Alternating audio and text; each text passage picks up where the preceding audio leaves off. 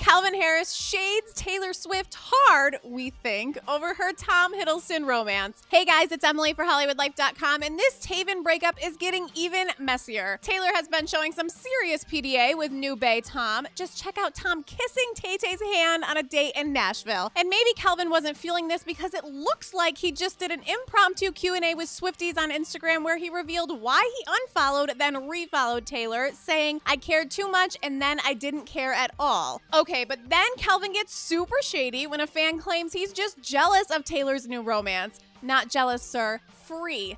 He, those are fighting words. Finally, a Swiftie demands to know what Taylor ever did to him, to which Calvin cryptically responds, You'll never know. Now, guys, I have to point out that sources are telling People magazine that this was actually not Calvin and that he may have been hacked. This tea is just too much to take, but I want to hear from you guys. Are you Team Taylor or Team Calvin?